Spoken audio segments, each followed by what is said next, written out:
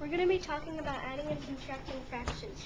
Our first fraction is 2 sevenths plus 7 fourteenths.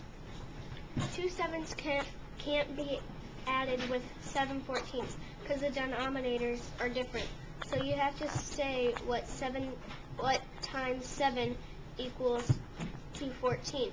1 times 7 equals 7 doesn't work. So 2 times 7 equals 14 works.